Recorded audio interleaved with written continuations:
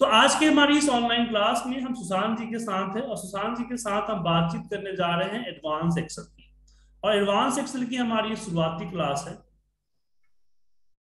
और हमने इससे पहले जस्ट एक सिलेक्शन मेथड किया था ये हमारी दूसरी क्लास है। हम बात कर रहे हैं फ़ाइल मेनू का सुशांत जी जैसे मैंने आपको बोला था कि हम जो काम करें हम जो पढ़ेंगे वो पढ़ेंगे आपके साथ मेनू के हिसाब से।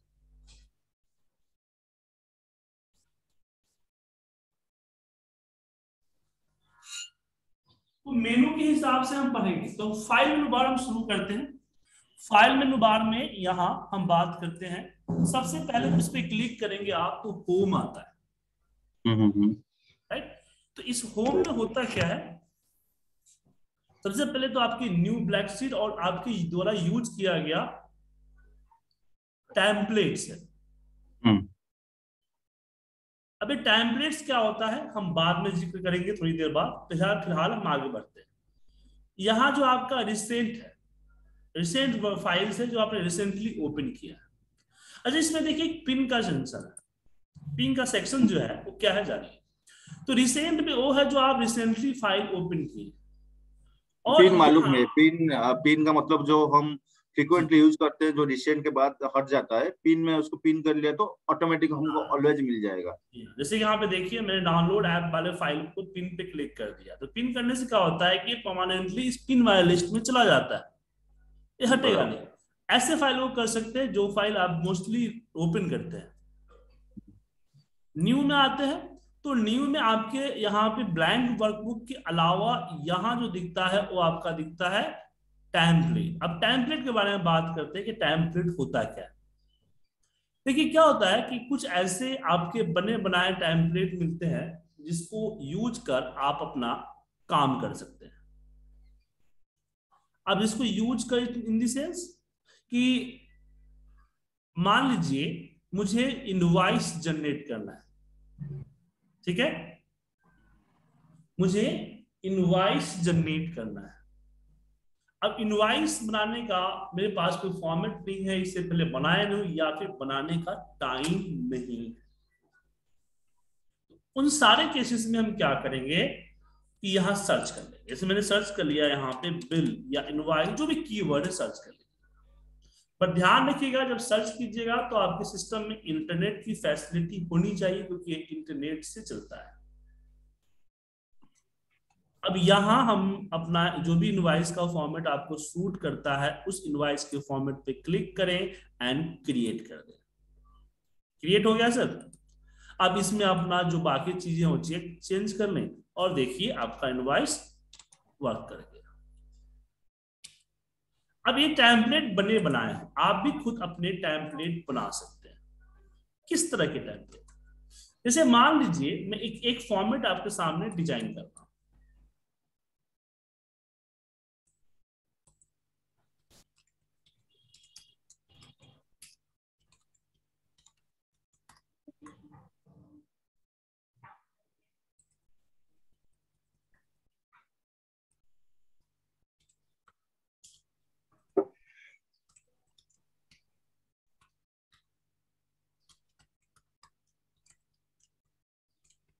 एक छोटा सा हम फॉर्मेट यहाँ डिज़ाइन कर रहे हैं ठीक है?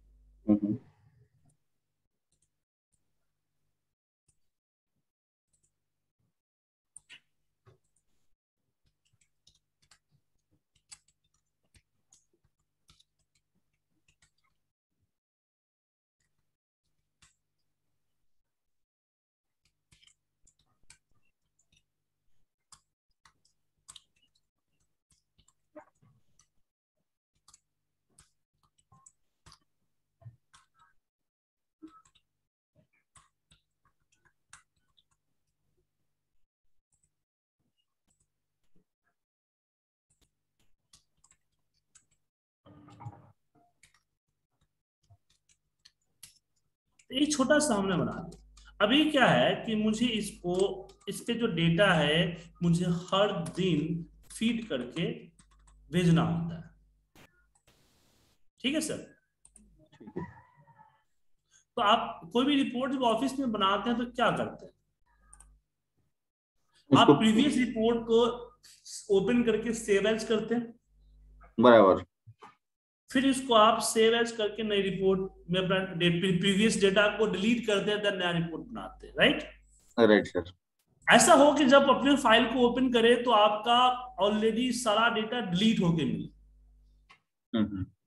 ये अच्छा रहेगा ना सर हाँ बराबर। तो उसके लिए हमें फ़ाइल को सेव एज करना होगा और सेव एज में हम यहाँ क्या करेंगे? ब्राउज और ब्राउज में यहाँ मतलब कि जो सेव एज टाइप होता है जहाँ पे डिफ़ॉल्ट एक्सेल वर्कबुक या माइक्रो अनेबल वर्कबुक होता है उसको हम टेम्पलेट पे सिलेक्ट करेंगे एक्सेल टेम्पलेट में। हाँ अब यहाँ पे मान लीजिए मैं दे देता हूँ सेल्स। दे दिया सेल्स? नाम अब मैं इसको सेव करता हूँ डेस्कटॉप पे ही सेव कर देता हूँ। अब इसको क्लोज कर दीजिए मैंने क्लोज कर दिया। अब ये देखिए सेल्स का फ़ाइल हमारा बन गया ये रहा। तो एक बार देखिए आइकन भी चेंज है दिख रहा है सर आइकन का चेंज हो गया। इस डायरी की तरह आ गया ना सर नोटपैड की तरह? हम्म हम्म। जैसे ओपन करूँगा सेल्स वन ओपन होगा। वन अच्छा हाँ हाँ दोबारा इसको दोबारा ओपन करो तो सेल्स टू ओपन होगा। जैसे आप नई एक्सेल खोलते हो तो book one book two book three खुलता है ना? हम्म, बराबर सर। उस तरह से। और हमेशा आपको एक ब्लैंक डेटा ही देगा। अब इसमें कुछ मैंने कुछ करने के बाद जब मैं इसको सेव करूँगा तो फिर सेव नहीं होगा ये ऑटोमेटिकली सेव एज होगा। मतलब कि आपकी जो सेल्स वाली फ़ाइल है वो हमेशा सेम रहेगी उसमें कोई चेंजिंग नहीं होगा। समझ लिया। ये टाइम सेविंग हो जाएगा। जी हाँ। तो टाइम सेविंग भी है ऐसे होता क्या है? जैसे कि मैं मैंने एक बार हुआ क्या था मेरे साथ मैंने इसका यूज़ करना क्यों शुरू किया था इसका बताता हूँ आपको मैं। तो बेसिकली मैं एक बहुत ही क्रिटिकल रिपोर्ट बना के मैं हर दिन मेल मेल करता था। अब हुआ कि मेरे बॉस कुछ दिन के लिए आउट ऑफ़ इंडिया चले गए और उन्होंने बोला कि ये रिपोर्ट जो है एक सेकेंड पर्सन को भेजने के लिए। हम्म, वो चेक करेगा। मैंने उसे उसको भेजा तो उसने क्या बोला कि मुझे इस रिपोर्ट के दो कॉलम हटा दो। मुझे दो कॉलम मुझे नहीं चाहिए मुझे देखने का राइट नहीं है। हम्म, ठीक है? तो मैंने वो दो कॉलम डिलीट कर दिया। अब हफ़्ते दो हफ़्ते बाद हमारे बॉस वापस आए। उनको भी मैंने रिपोर्ट भेजा। तो कुछ दिन बाद वो बोल रहे कि यार इसमें दो कॉलम नहीं है। मैं भी कंफ्यूज हो गया कि दो कॉलम रिपोर्ट में क्यों नहीं है? फिर मैं एक एक दिन करके तीन महीने का डेटा देखा तो पता चला कि तीन महीने पहले मैंने चेंज किया था। अब वो चेंज हमें वो चेंज कुछ दिनों के लिए करना था या एक दो दिनों के लिए करना था? लेकिन वो चेंज क्या हुआ? परमानेंट हो गया। कंटिन्यूअस उसी को चलता गया क्योंकि हम मैं हमेशा प्रीवियस रिपोर्ट को सेव एज करता चला गया। हम्म, हम्म, तो उसी से मुझे रियलाइज़ हुआ कि नहीं मुझे एक फॉर्मेट रखना चाहिए। ठीक है सर? बराबर ये बहुत हेल्पफुल चीज़ है। हाँ एक फॉर्मेट रखना चाहिए। तो इसलिए मैंने अपने सारे रिपोर्ट को फॉर्मेट में डाल दिया। उसे एक और फ़ायदा होता है सर इसमें एक क्वेश्चन इसमें एक क्वेश्चन है कि आप जब भी इसको से- सेवाज ड्राफ्ट करेंगे जो नेक्स्ट रिपोर्ट ओपन करेंगे वो एक्सेल फॉर्मेट में सेव होगा कि ड्राफ्ट फॉर्मेट में सेव होगा? एक्सेल में सेव होगा ना? वो तो सेव एज करते समय जो टाइप सेलेक्ट करेंगे उसमें सेव होगा। अच्छा समझ लिया आप जो टाइप सेलेक्ट करेंगे उसमें सेव होगा। हम्म, समझ लिया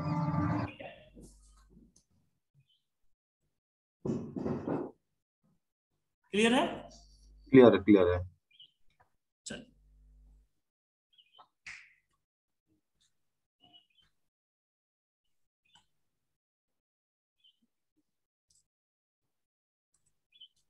तो अब हम बात करते हैं टेम्पलेट से बाग बढ़ते हैं ओपन पे। तो ओपन में भी आपको यहाँ पे सबसे पहला लिस्ट जो दिखेगा, वो पिन लिस्ट दिखेगा, जहाँ पे पिन हुआ है। फिर उसके नीचे बाकी आपका जो रिसेंटली ओपन और यहाँ पे कैटेगराइज होगा डेट माने कि इसमें डेट के हिसाब से। Today yesterday last week and older जैसे आपके आउटलुक में होता है। इसमें एक फोल्डर की भी कैटेगरी है, आप अपना फोल्डर भी यहाँ दे सकते ठीक है? ठीक है सर अब बात करते हैं इन्फो इन्फो एक इंपॉर्टेंट पार्ट है चलिए इसको समझाते हैं। जैसे मान लीजिए कि मैंने अभी एक डैट डेटा नाम का एक फ़ाइल दिख रहा है सर हाँ, हाँ। अब डैट डेटा नाम का जो फ़ाइल है वो हमने उसको लिया है। अब इसमें देखिए क्या है कि इसमें आपको दिख रहा है file name author name size और डेट ऑफ़ मॉडिफाई ये दिख रहा है ना सर? कर्सर डालने बराबर बराबर बराबर। अब ये फ़ाइल के अंदर क्या है? कैसे पता चलेगा? ओपन करने से पता लगेगा। हाँ ओपन करना पड़ेगा। और आपकी छोटी मोटी फ़ाइल तो एक बार क्लिक करते ओपन हो जाती है। लेकिन बड़ी बड़ी फ़ाइल ओपन होने में तो टाइम बहुत लगता है ना सर? बराबर। तो यहाँ प्रॉब्लम हो जाएगी टाइम आपका बहुत लगेगा। हम्म। ठीक है? तो इस केस में हम क्या करते हैं? यहाँ पे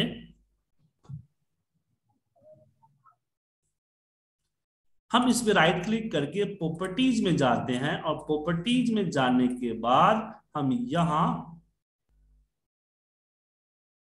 डिटेल्स में यहाँ चेंज कर देते हैं। टाइटल है टाइटल को चेंज कर दिया। यहाँ पे जो भी डिटेल डालना। हमने दे दिया बी डी प्रोजेक्ट ठीक है। यहाँ पे।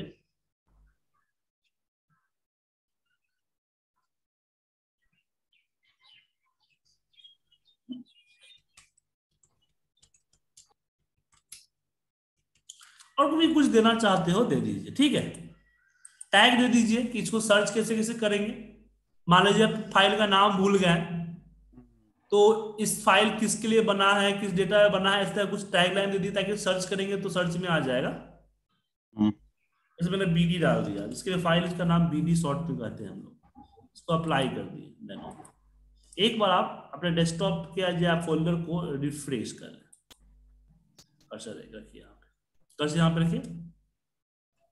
अब मुझे इस फ़ाइल में क्या है इस चीज़ को जानने के लिए हमें इस फ़ाइल को ओपन करने की ज़रूरत तो नहीं है। नहीं। नहीं नहीं है ना सर? नहीं टाइटल देख से सब्जेक्ट देख से मालूम हो जाएगा। जी हाँ। तो इसी तरह की चीज़ें हम करते हैं। इन्फो में जाके। इसमें सर्च में भी मान लीजिए अब सर्च जैसे करूँगा मैं मान डेस्कटॉप पे मैं सर्च कर रहा हूँ या किसी और फोल्डर में सर्च कर रहा हूँ। अब जैसे मैं यहाँ पे बीडी लिखूँगा या डैशबोर्ड लिखूँगा दिख गया आपको बीडी प्रोजेक्ट फ़ाइल अब बीडी प्रोजेक्ट फ़ाइल नाम में कोई फ़ाइल नहीं है सर लेकिन उसका टाइटल हमने लिखा हुआ था सर इसने ढूंढ दिया ना सर इजिली हम्म, ढूंढ लिया। हाँ तो इसको सर्च में भी आपके लिए बेटर होता है। इसको हमको रीनेम करना पड़ेगा पहले। नहीं रीनेम करने की ज़रूरत नहीं है।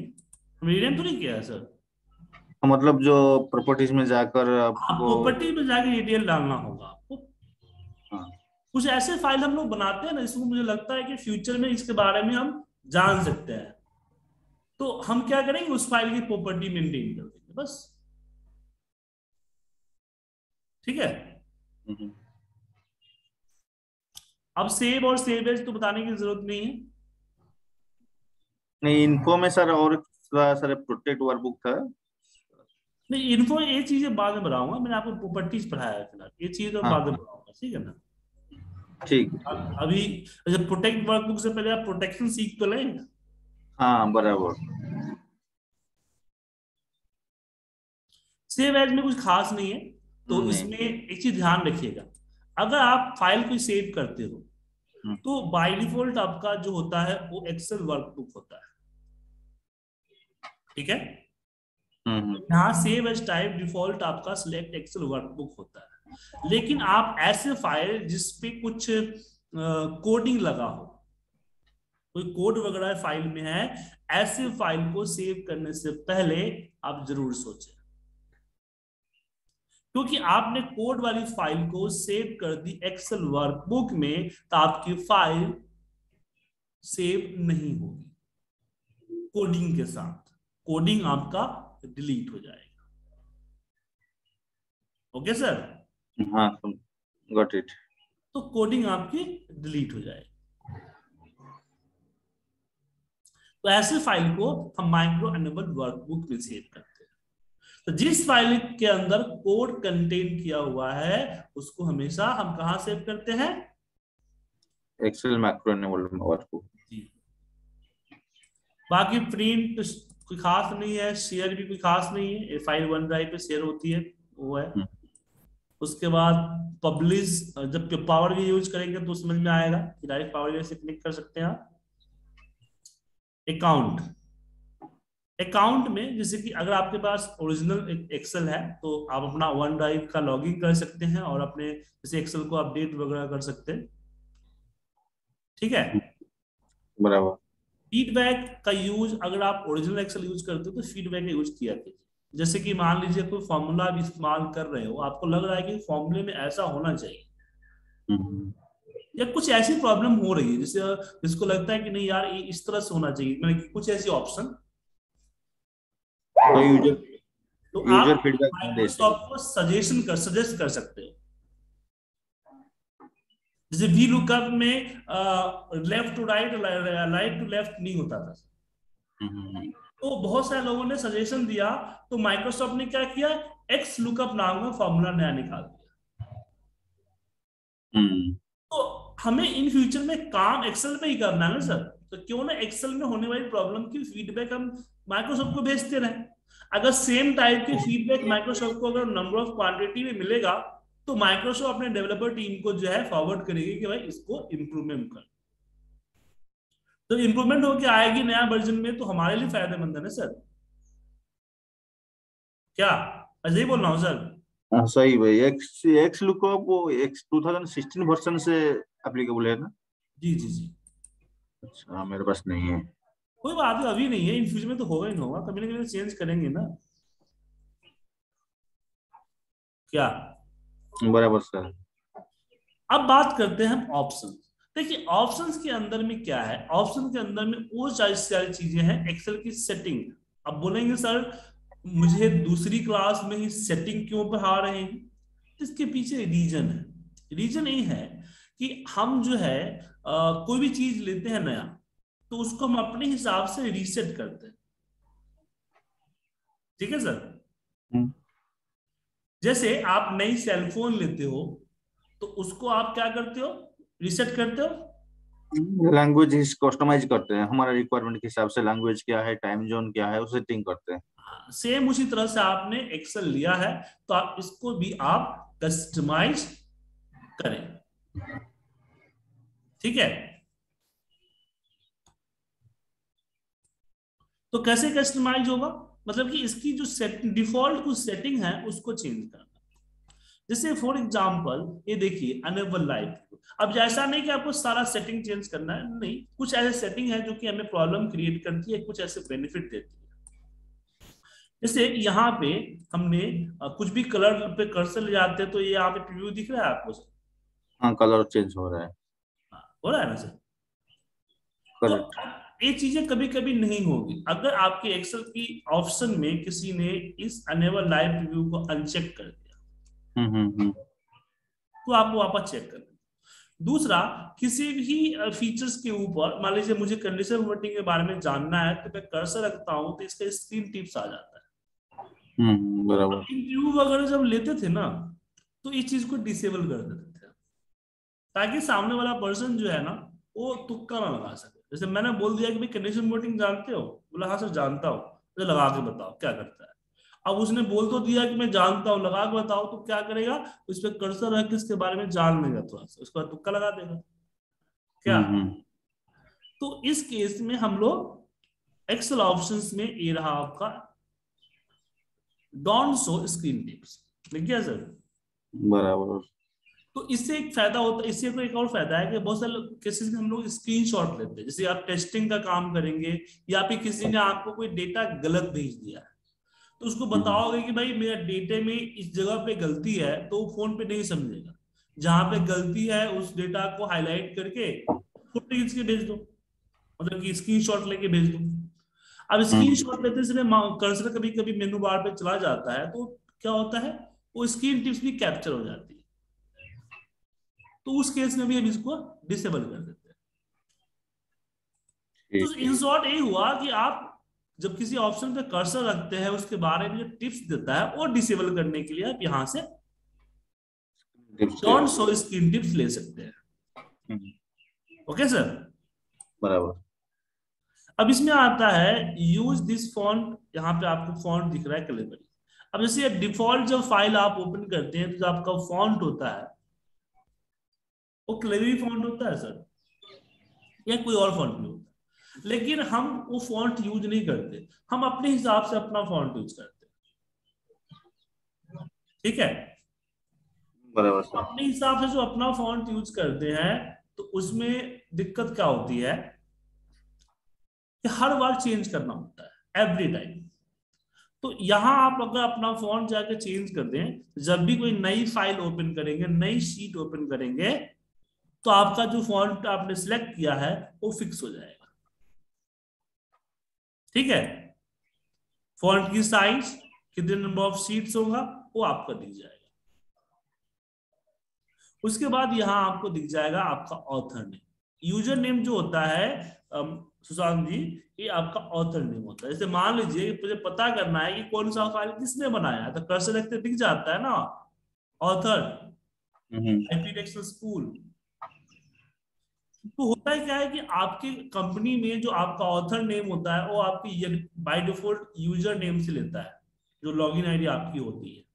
और कंपनीज़ में login ID system one admin one ऐसी चीज़ें होती है। तो आप अपने हिसाब से चेंज कर सकते हैं, कोई दिक्कत नहीं है। नीचे आपको यहाँ दिखता ऑफ़िस थेम ऑफ़िस थेम क्या है? अब इसे क्या कलरफुल है? अगर मैंने इसको डार्क ग्रे करके ओके कर दिया तो देखिए डार्क ग्रे हो गया।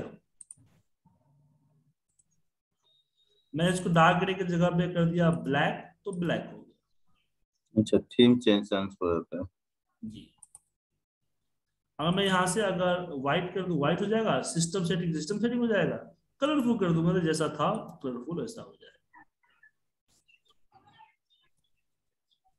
ओके ठीक है सर उसके बाद यहाँ फॉर्मूले वगैरह में भी आपकी सेटिंग है। लेकिन मैं सेटिंग पढ़ाने से पहले मैं बोलूँगा आपको कि आप उसको अच्छे तरीके से देख लें।